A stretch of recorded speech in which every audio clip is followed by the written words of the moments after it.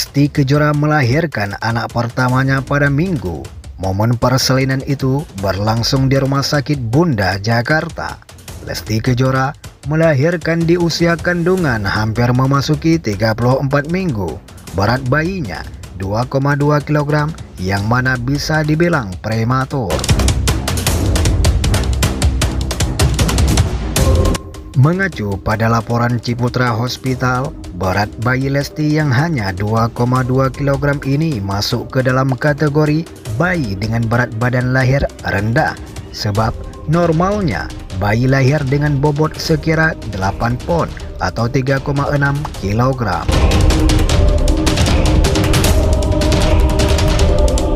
Bayi dengan berat badan lahir kurang adalah istilah yang digunakan untuk menggambarkan bayi yang lahir dengan berat kurang dari 5 pon atau 2,5 kg.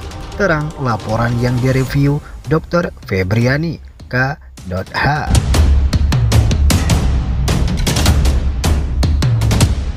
Dengan kondisi tersebut, amat sangat rentan bayi Lesti Kejora mengalami beberapa masalah kesehatan Laman Very Well Family menjelaskan bahwa bayi lahir rendah memiliki beberapa masalah kesehatan seperti masalah di organ, dalam hingga tubuh bayi sulit hangat.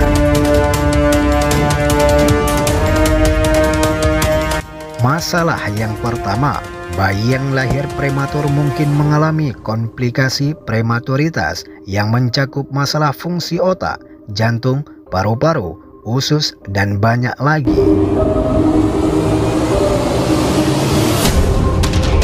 Masalah yang kedua, pada beberapa kasus, bayi lahir dengan berat rendah juga mengalami masalah dengan gula darah.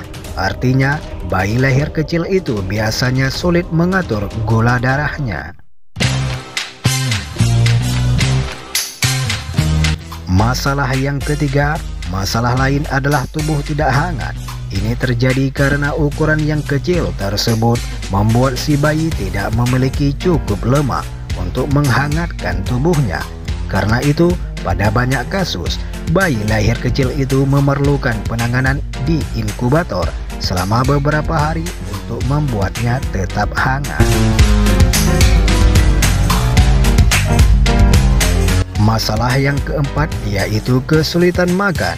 Bayi yang lahir dengan berat badan rendah tidak selalu cukup kuat untuk menyusui dengan baik dan ini mengharuskan mereka mendapatkan bantuan untuk mencukupi kalorinya supaya bisa tetap tumbuh.